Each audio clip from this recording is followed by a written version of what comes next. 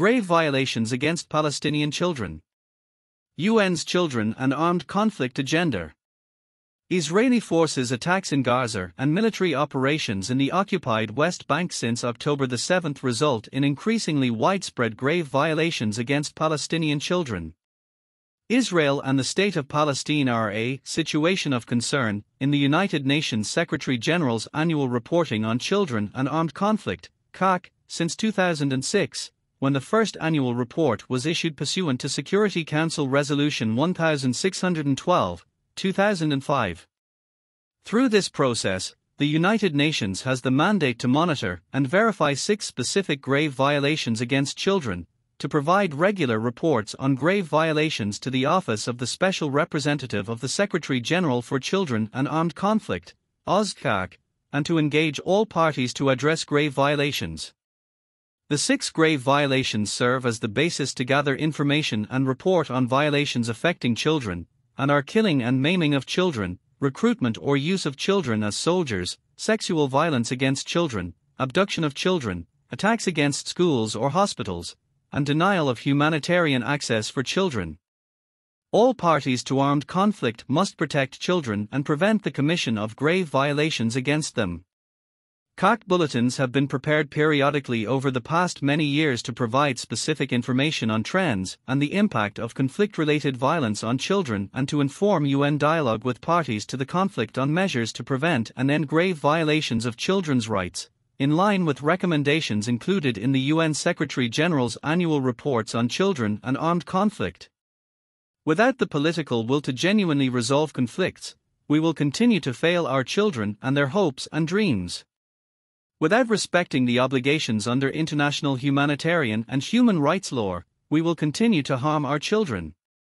Without putting children at the center of our actions, the possibility of complying with the CRC and providing every child with their rights and needs is sadly null, said the Special Representative of the Secretary General for Children and Armed Conflict, Virginia Gamba. The information below covers the period between October the 7th, the 27th of November 2023. Killing and maiming.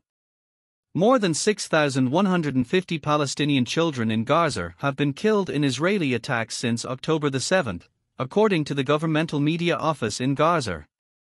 60 Palestinian children have been killed in the occupied West Bank since October the 7th, according to documentation collected by DCIP, when the Israeli military began a full scale bombardment on the Gaza Strip dubbed Operation Iron Swords. Attacks on schools and hospitals.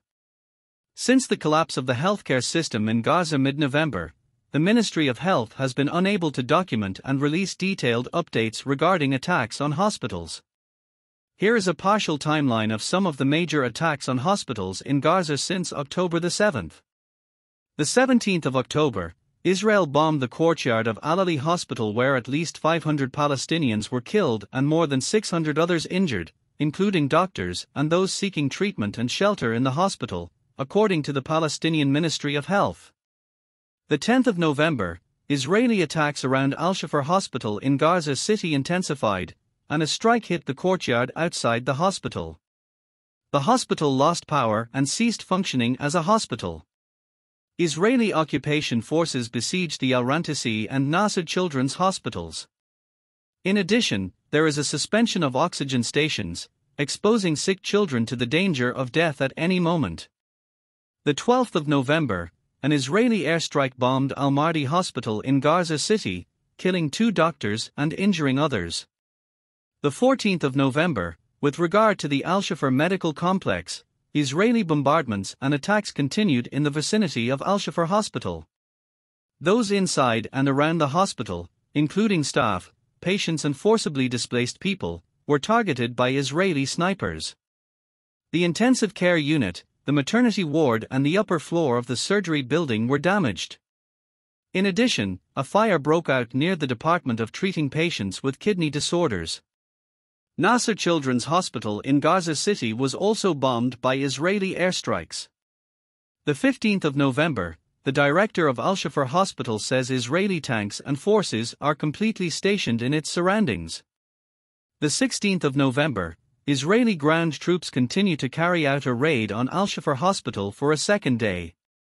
The 17th of November, Israeli ground troops continue to carry out a raid on Al Shifa Hospital in Gaza for a third day. Israeli troops are still inside the hospital. Israeli forces also bombed Al Wafa Elderly Hospital in the Al Zura area of the central Gaza Strip. The bombing resulted in killing the hospital manager and injuring other doctors. The 18th of November, premature babies forced to evacuate Al Shifa Medical Complex by Israeli forces. Israeli forces continue to impose a blockade on Al Ahli Hospital in Gaza City, according to the Ministry of Health. Medical teams cannot move outside and reach the injured safely. The Palestinian Red Crescent Society, PRCS, announced that its emergency medical teams are trapped in Al Amal Hospital for the third consecutive day, amid intense bombing and open fire. The teams have been unable to move outside and reach the injured. The 19th of November, Israeli airstrikes resumed against Al Shifa Hospital. At least one patient was arrested during the hospital's invasion carried out by Israeli forces. Israeli forces bombarded the Al Awda hospital in northern Gaza, resulting in the death and injury of several Palestinians. The 20th of November, a joint mission between the United Nations and the Palestine Red Crescent Society, led by the World Health Organization, evacuated 31 premature babies from the besieged Al Shifa Hospital in northern Gaza to Al Hilal Al Emirati Maternity Hospital in southern Gaza. Israeli forces also besieged the Indonesian hospital. A bomb struck the second floor of the Indonesian hospital, killing at least 12 people.